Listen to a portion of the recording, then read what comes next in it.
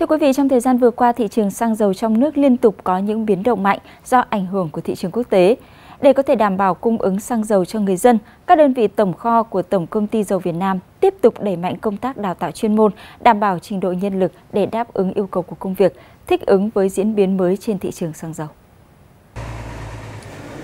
Đây là một khóa học kỹ năng nghiệp vụ nội bộ của xí nghiệp tổng kho xăng dầu Nhà Bè, Tổng Công ty Dầu Việt Nam.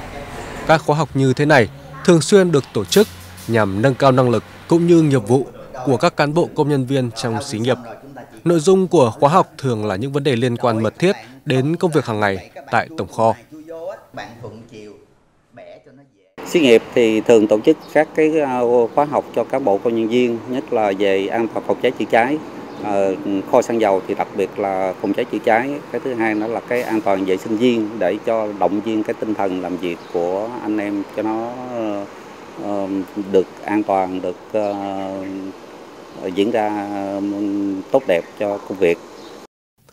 Tổng kho xăng dầu Nhà Bè với sức chứa 271.000 mét khối và lợi thế cảng biển nằm sâu trong đất liền là một trong những tổng kho mang tính chiến lược của Tổng công ty dầu Việt Nam,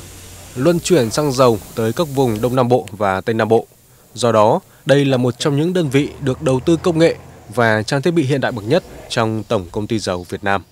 À, ngay từ khi mà à, bắt đầu xây dựng và hình thành cái xí nghiệp tổng kho xăng dầu Nhà Bè à, thì à, cái định hướng của tổng công ty cũng như là ở xí nghiệp đã à, xây dựng à, cái cái cái mô hình quản lý rất là hiện đại. Tại vì cái hệ thống tự động hóa là một trong những đơn vị đầu tiên áp dụng ở tổng kho xí nghiệp tổng kho.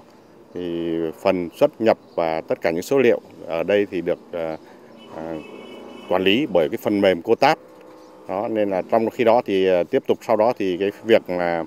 mà mà mà tổng ty đầu tư cái, cái cái phần mềm quản lý như là B2B hoặc là những cái, cái chương trình quản lý hiện đại thì toàn bộ các hoạt động của kho thì càng ngày càng được nâng cấp về mặt ờ, khoa học ờ, công nghệ.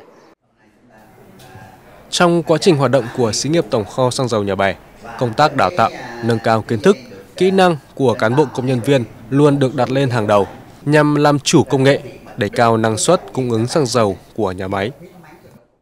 Đơn vị đã đã đã đã đã tổ chức tất cả các khóa từ cái công tác đào tạo về an toàn, về môi trường, về an ninh cảng biển cũng như là à, các ờ, quy định của pháp luật thì còn tổ chức các lớp đào tạo nội bộ về các kỹ năng